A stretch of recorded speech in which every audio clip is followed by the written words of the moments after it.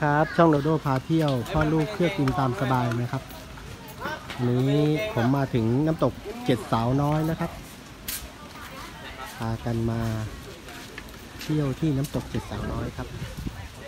เมื่อกี้ออกจากความโชคชัยแล้วเข้าที่พัก แล้วก็เก็บข้าวเก็บของ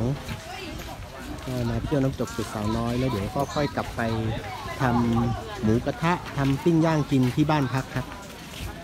ตอนนี้ซื้อตั๋วอยู่ครับ ซื้อบัตรเข้า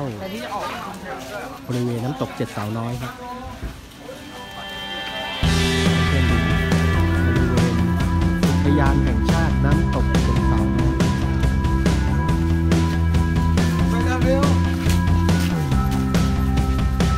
อันนี้เดินเข้ามาในบริเวณทางเข้าน้ำตกเจ็ดสาวน้อยครับ พาเพื่อนเดินชมธรรมชาติของอุทยานแห่งชาติ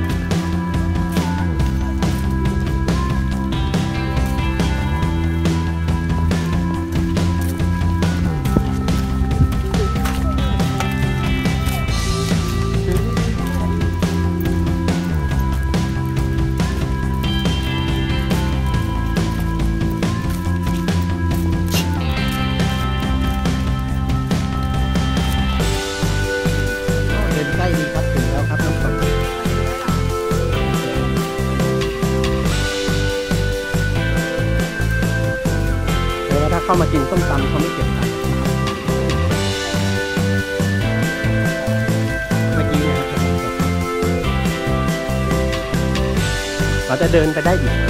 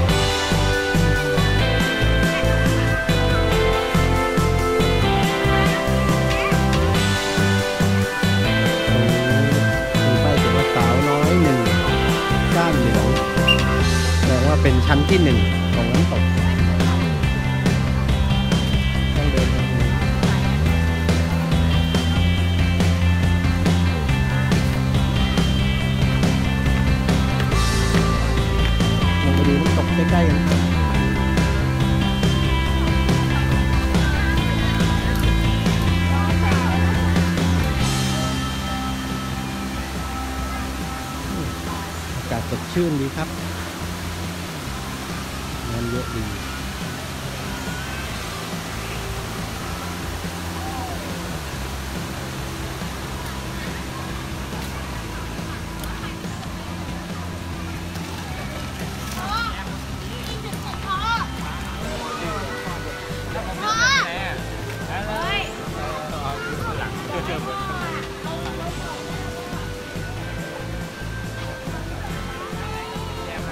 เล่นน้ำไหมครับ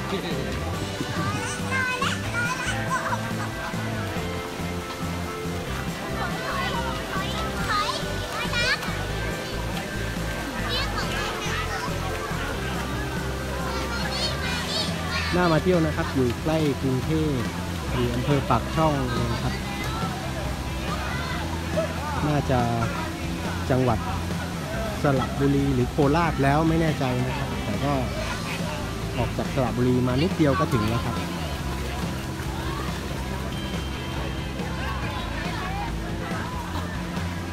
เขียนว่า 157 กิโลเมตรครับ จากกรุงเทพ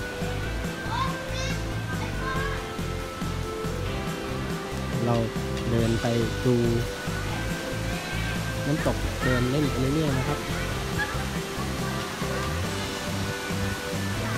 แสงหน่อย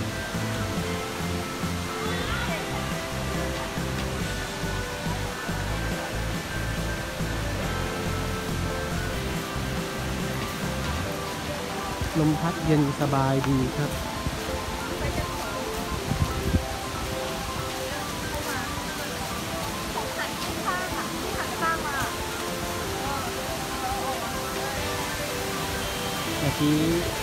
ชั้นหนึ่งนะครับ เรากำลังเดินไป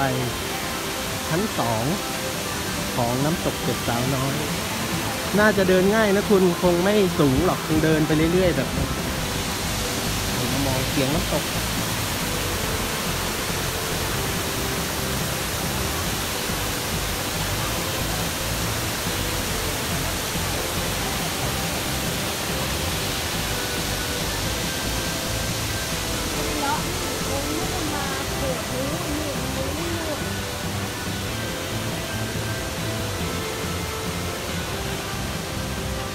มา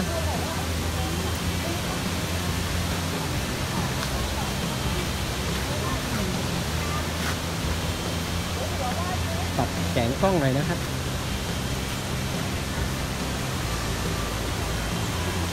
ไปดูมุมนี้ครับ สวยงาม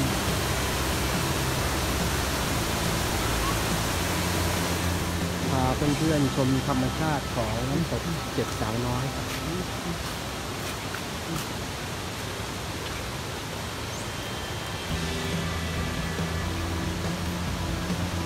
ก็เป็นชั้นที่สองนะครับ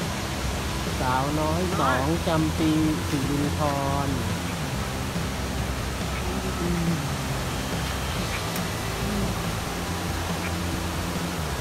สาวน้อยสองนี่ครับกับซอของเฮียสุเมฆครับ เดินปรึกษาหารือสาวน้อยสองไม่ดอกนะถ่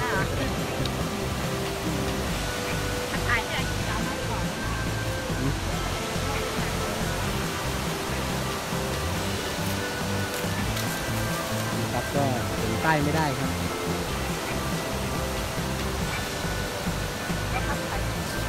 ขึ้นสูงเดินไปเรื่อยๆก็ได้นะด้านนี้ก็เป็นธรรมชาติป่าเขาครับ ยังอุดมสมบูรณ์อยู่ เมืองไทยของเรายังมีที่เที่ยวอีกเยอะแยะนะครับ ใกล้ๆกรุงเทพบรรยากาศร่มเย็นดีครับ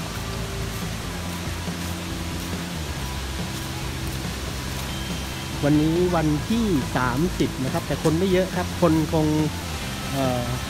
ไปเดินทางไปไกลๆ อันนี้เลือกที่จะมาเที่ยวตรงนี้ก็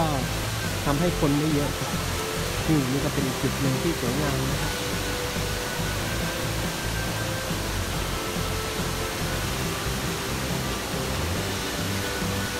ช่วงนี้น้ำยังเยอะอยู่ครับ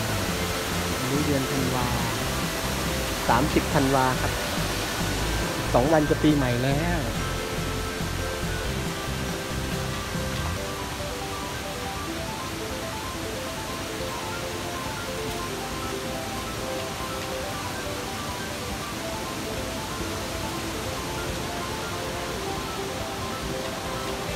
ก็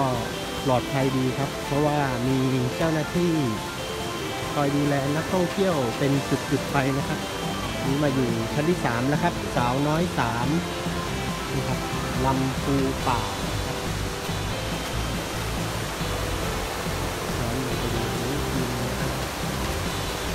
สามารถลงเล่นน้ำได้นะครับ น่าจะปลอดภัยดีเพราะว่ามีเจ้าหน้าที่คอยดูแลอยู่นอกจากนั้นก็ยังจัดให้มีห่วงยาง อุปกรณ์ช่วยชีวิตพี่ๆคอยดูแลให้ความปลอดภัยครับ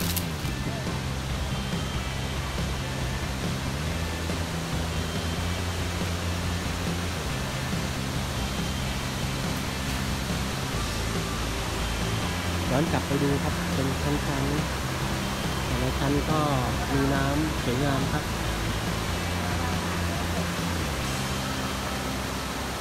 เอาเอาเชือก นี่ก็ชมธรรมชาติไปพร้อม ๆ กับช่องโดโดพาเที่ยวพ่อลูกเที่ยวกินตามสบาย อันนี้อยู่ที่น้ำตกเจ็ดสาวน้อยครับ เดินชมธรรมชาติของน้ำตกเจ็ดสาวน้อย มาถึงชั้นที่สามกำลังจะเข้าไปชั้นที่สี่มีด้วยกันเจ็ดชั้นครับ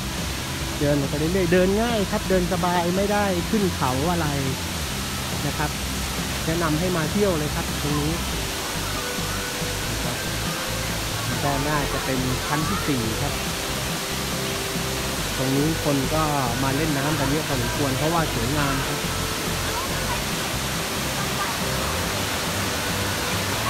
ตรงนี้เป็นชั้นที่สี่มีเจ็ดชั้นครับ เดี๋ยวเดินไปอีกสามชั้น ก็จะจุดทางชั้นที่เจ็ด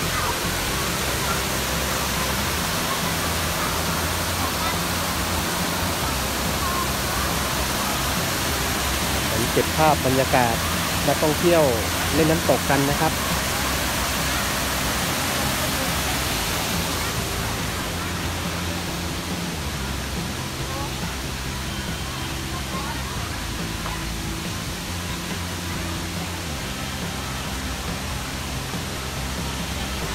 บรรยากาศดีครับ ลมพัดเย็นสบายไม่หนาวเกินไปครับ ตอนนี้เป็นช่วงเวลาบ่ายสามโมงกว่าๆครับ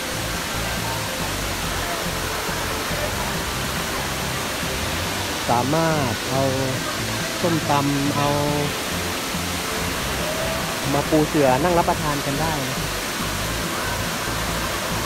มีป้ายแนะนำว่าตรงไหนเล่นน้ำได้ไม่อันตรายตรงไหนที่อันตรายก็จะมีป้ายเตือนตลอดทางครับเขียนว่าศาลาลังนกครับให้นั่งพัก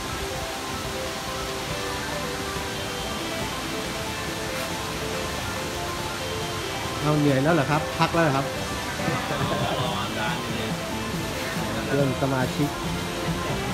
นี่ครับชาวคณะที่มาเที่ยวกันในวันนี้นะครับเจอคุณเนตซอแล้วก็น้องขิงขิงกับน้องอะไรผมลืมอีกแล้วน้องเคเคกับน้องขิงขิงนี่ครับเดี๋ยวเย็นนี้ทำหมูกระทะทานกัน ไปต่อยังครับ ไปเดินต่อครับอีกสองชั้นสามชั้นเนี่ยเวลาไปอะมันไม่ยากในเวลากลับอ่าปีใช่จานเคยไปเที่ยวไอ้นี่ปะที่ไหนครับ ยามหานครอ๋อ ใช้เฮียใช้ลงเรือไปหรือว่าใช้เดินรู้สึกมันต้องลงเรือนะแล้วมันก็เดินได้ขึ้เดินได้แล้วก็ลงใช่ แล้วเวลากลับก็ขึ้นแล้วก็ลงไง แต่ว่าแต่ว่าตอนเอ่อไปไม่ต้องลงเรือก็ได้นะครับ แต่เดินข้ามเขา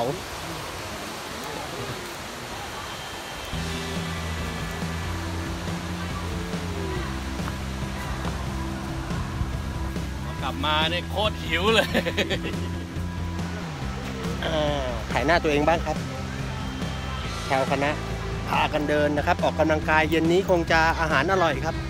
่ครับ เพื่อนได้เห็นหาดูยากครับ เขาเขียนป้ายไว้นะฮะต้นอบเชยนะครับ เดี๋ยวผมพาเพื่อนมาดูใกล้ๆพอดีเดินผ่านมาเจอเนี่ยเขาบอกว่าต้นอบเชยเนี่ยที่ใส่ไข่พะโล้ฮะ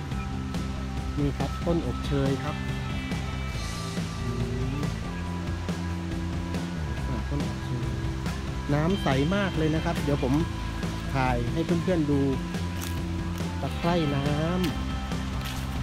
นะครับ น้ำตกเจ็ดสาวน้อยครับโดโดพาเที่ยวพ่อลูกเที่ยวกินตามสบายน้ำใสเห็นตะไคร่น้ำอยู่ข้างล่างเลยครับ เห็นปลาเลยครับ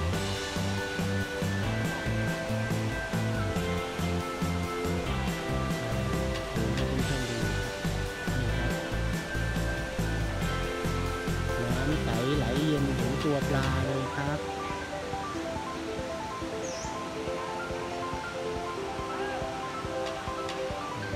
ไกลตรงนั้นจุดที่เล่นน้ำครับ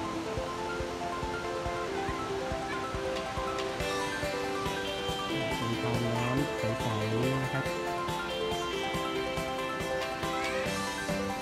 แล้วก็ตรงนี้เรียกว่าป่าชายตลิ่งครับ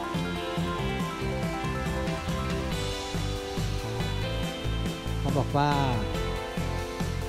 ล่มลื่นเขียวกว่าจีมีพันไม้ขนาดใหญ่ ก็มีตะไคร่น้ำโศกน้ำยางนามะแฟงมะกอไข่ป่าหวายมีความอุดมสมบูรณ์ของธรรมชาติครับบรรยากาศป่าชายตลิ่งครับก็เรียกว่าป่าชายตลิ่งทำไมเขาปีนไม่ถึงนู่นเลยอะลักษณะของป่าชายตลิ่งเป็นอย่างนี้นี่เองนะครับเพื่อนๆ ไปต่อครับ ใกล้จะถึงจุดหมายปลายทางแล้ว เดินง่ายครับ น้องๆ เด็กๆยังเดินได้เลยนะครับเนี่ยครับ ลักษณะป่าชายตลิ่งครับ เป็นเกาะแก่งนะครับ ต้นไม้ริมน้ำเป็นรากยาวๆ สวยงามครับ ต้นไม้สองต้นนะครับมีรากยึด เกี่ยวกับหินนะครับ ตอนนี้น้ำไม่ไม่เยอะนะครับถ้าน้ำเยอะก็รากไม้ก็จะช่วยไม่ให้ต้นไม้หักโค่นลง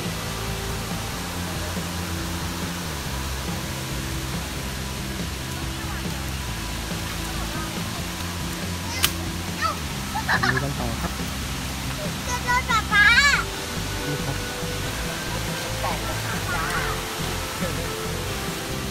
อันนี้ถ่ายในตกน้ำ น้ำได้แต่ว่าอย่าแช่เลย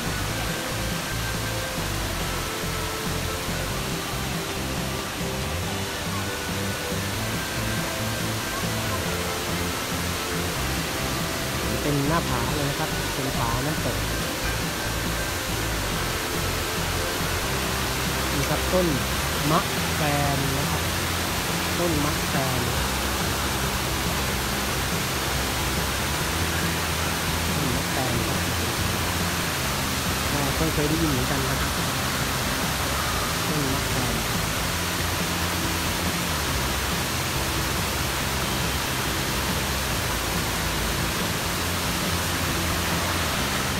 สาวน้อยห้าครับมักแฟนครับ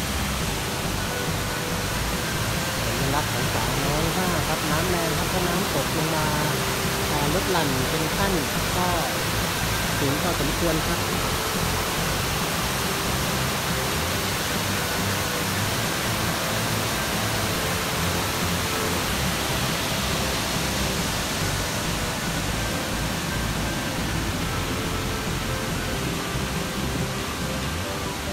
ชั้นที่ 5 แล้วนะครับ ของน้ำตกเจ็ดสาวน้อยต่อมาก็เป็น เราจะมุ่งหน้าไปชั้นที่ 6 กับ 7 นะครับ มีคำว่าน้ำตกสิริภพอ๋อชั้นที่ 6 ที่ 7 นี่ห้ามห้ามเล่นน้ำนะครับห้ามเล่นน้ำนี่อยู่ในเส้นทางที่จะไปน้ำตกเจ็ดสาวน้อย ชั้นที่ 6 กับชั้นที่ 7 ครับ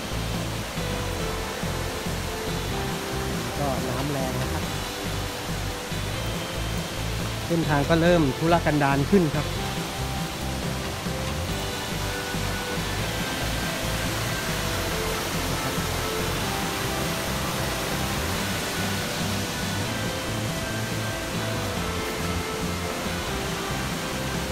สุดทางยังครับสุดแล้วเหรอ อ๋อ สุดทางแล้ว ชั้นที่เจ็ดแล้วครับ เจ็ดจานชั้นเจ็ดสุดแล้วครับ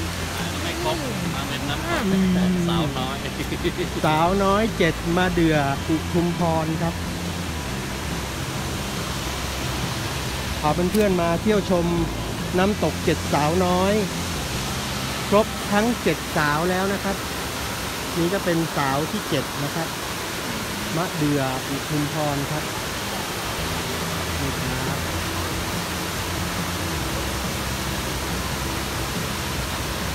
ตอนนี้ก็เดินย้อนกลับครับ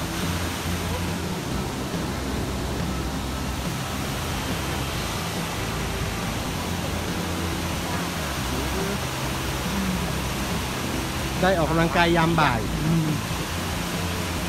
เมื่อกี้ไม่แน่ใจนะครับว่าชั้นที่ 6 ผม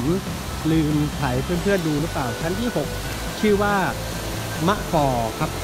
สาวน้อย 6 มะฟอครับนี่ครับสาวน้อย6มะฟอนี่เป็นอย่างนี้ครับหล่อนเป็นชั้นๆอย่างนี้ครับเส้นทางก็ธุรกันดารขึ้นนะครับ อันนี้เป็นเที่ยวกลับ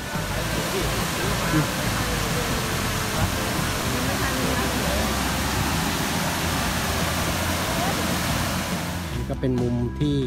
นิยมถ่ายรูปกันครับ เดี๋ยวครูตั๊กก็จะไปถ่ายรูป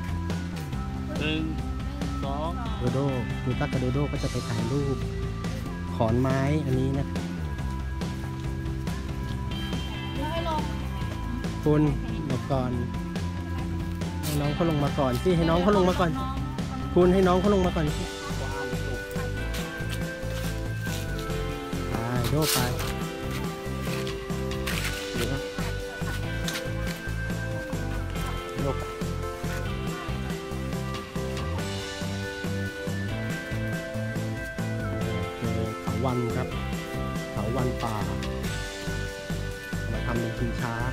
รู้สึกว่าตัวจะหนักเกินไป ตัวหนักเกินไปครับ เมื่อกี้เขาถ่ายเขาถ่ายแล้วสวย แต่พอครูตักนั่งแล้วมันติดดินครับ นี่ครับก็เป็นเถาวันที่นั่งเป็นชิงช้าได้ครับ เดี๋ยวถ่ายรูปไปดูมุมนี้สวยครับ น่าจะเป็นน้ำตกชั้นที่เท่าไหร่ชั้นที่สี่หรือเปล่า สวยมากครับตรงนี้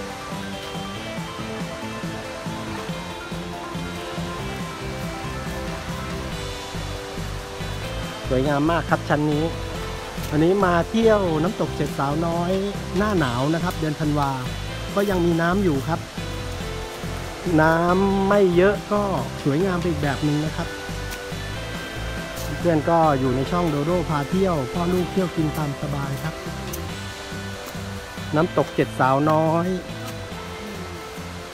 ไม่ไกลกรุงเทพครับร้อยกว่ากิโล